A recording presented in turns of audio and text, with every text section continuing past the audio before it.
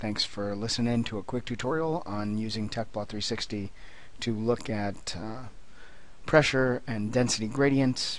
I've had uh, several people ask me questions recently about Schlieren diagrams or Schlieren images using Tecplot 360. Now, Schlieren is an optical technique looking for inhomogeneous uh, density fields or density gradients in um, typically in trans translucent media like air. Um, this works really well when you're looking in supersonic flow because there's large changes in the density and it's as it passes through the shock waves. And these density changes you can actually see in an image. Now in computational methods one can actually use a technique of the shadow graph to look at uh, these same pressure gradients. In Tecplot I've actually brought up something, this is very simple, it is a um, it's a supersonic airfoil. We're just looking at one slice of that airfoil. The uh, first thing we're going to do is we're going to calculate a variable. The variable we're going to calculate is shadow graph. So you can hit S until you get down to it. It's a relatively small data set, so you really don't need to use calculate on demand, and we'll go ahead and hit calculator.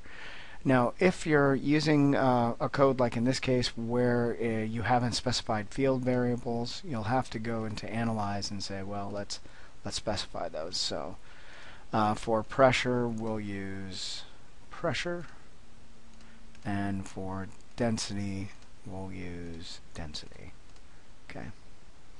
We'll select the variables of u and v. Okay. And uh, we'll say OK. Now we'll do the calculate. Okay, looks like it's done.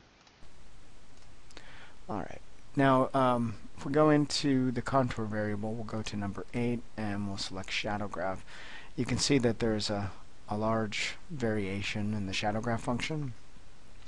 So if we turn on contour for shadow graph, uh, you may not see what you're looking for. So uh, first thing we're going to do coloring wise, we'll look at uh, grayscale and uh, now you can see uh, the shadow graph in more detail. Another way to do this is using a, continu a continuous spectrum. Oftentimes the small variations get washed out if you move to continuous coloring.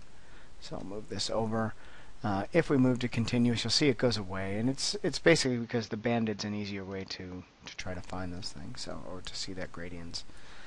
Um, you can also use the add and subtract contours to try to uh, put a little more detail in the fine structure.